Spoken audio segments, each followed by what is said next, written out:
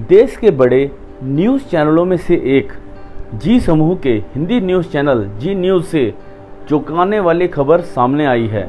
जानकारी यह है कि जी न्यूज़ के editor in chief CEO Sudhir Chaudhary ने अपने पद से इस्तीफा दे दिया है। खबर यह है कि चैनल के लोकप्रिय प्राइम टाइम शो डीएनए में एक बड़ा बदलाव होने से नाराज़ होकर सुधीर चौधरी ने इस्तीफा दिया है। दरअसल लंबे समय से रात 9 बजे डीएनए होस्ट कर रहे सुधीर चौधरी को इस शो की ज़िम्मेदारी से मुक्त कर दिया गया है। इस हफ़्ते की शुरुआत से ही इस शो को सुधीर चौधरी की जगह जी हिंदुस्तान के एंकर रोहित रंजन होस्ट कर रहे हैं। करीब दो साल से जी हिंदुस्तान में कार्यरत हैं। इससे पूर्व वह सूर्य समाचार और पी सेवन चैनल में भी काम कर चुके हैं।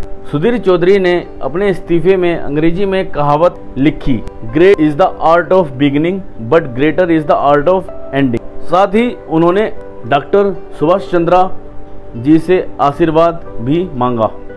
उन्होंने कहा कि अंतर्मन की आवाज़ को सुनते हुए भारी मन से मैंने ये फैसला लिया है और जी न्यूज़ से इस्तीफ़ा दे रहा हूँ। मुझे उम्मीद है कि मैं जो नया वेंचर शुरू करने जा रहा हूँ, उसे लेकर आपको मुझ पर गर्व होगा। जी, मैं लगभग पंद्रह साल के कार्यकाल के दौरान मुझे यहाँ काफ़ी कुछ सीखने को मिला। अब हम जानेंगे सुधीर चौधरी के बारे में, उनकी बायोग्राफी। सुधीर चौधरी का जन्म 7 जून 1974 में हरियाणा के पलवल में हुआ था। उन्होंने कला के क्षेत्र में अपना स्नातक दिल्ली विश्वविद्यालय से किया। इसके बाद सुधीर ने Indian Institute of Mass Communication में अपना दाखिला करवा लिया और वहाँ से पत्रकार बनने की राह पर चल पड़े। सुधीर चौधरी का विवाह नीति चौधरी से हुआ और उनका एक बेटा भी है। सुधीर ने अपने करियर की शुरुआत 1990 के दौर में शुरू की थी। वे जी न्यूज़ के साथ अपने और चैनल के शुरुआती दिनों से जुड़े हुए हैं। वे जी न्यूज़ के साथ अपने करियर के शुरुआती दिनों से जुड़े हुए हैं। 2003 में सुधीर ने जी न्यूज़ छोड़ 2003 में सुधीर ने जी न्यूज़ छोड़ सहारा ग्रुप के साथ जुड़ने का सोचा। उन्होंने सारा समय के लॉन्च में बहुत अहम भूमिका निभाई। वे थोड़े समय के लिए इंडिया टीवी के साथ भी जुड़े रहे। पर 2012 में सुधीर की दोबारा जी न्यूज़ में वापसी हुई।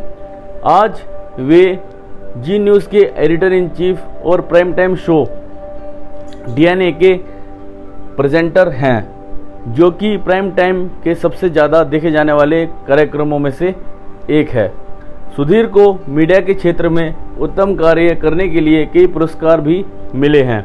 उन्हें उनके उत्तम कार्य के लिए रामनाथ गोइंका एक्सीलेंस अवार्ड 2013 और 2017 में सम्मानित किया गया। सुधीर चौधरी की आय व संपत्ति के बारे में अब हम जानेंगे। सुधीर चौधरी पिछले 28 सालों से पत्रकारिता की दुनिया में कार्यरत हैं। वे भारत के सबसे अधिक कमाने वाले एंकरों में से एक हैं। सुधीर की मासिक कमाई लगभग 25 लाख है। इसके अलावा सुधीर के पास रियल इस्टेट की बहुत सारी प्रॉपर्टी है, जिसमें से अधिकतर उनके गाँव में है और कुछ अन्य शहरों में भी उनकी संपत्तियाँ हैं। सुधीर की कमाई का मुख्य स्रोत पत्रकारिता और उनकी एंकरिंग ही है। सुधीर एक गुणी पत्रकार और सुलझे हुए एंकर हैं।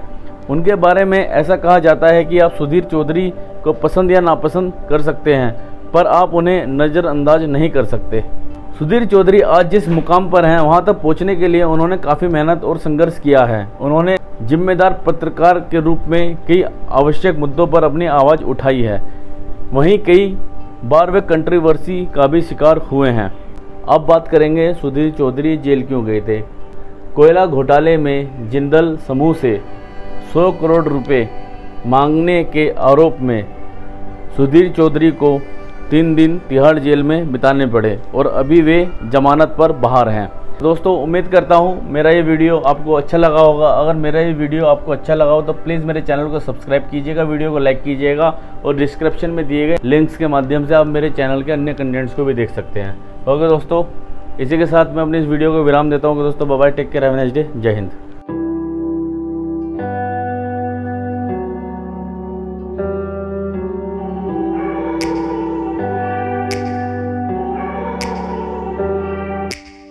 Take me back to a place where I felt at home. Take me back to a day when we weren't alone. Take me back to an age when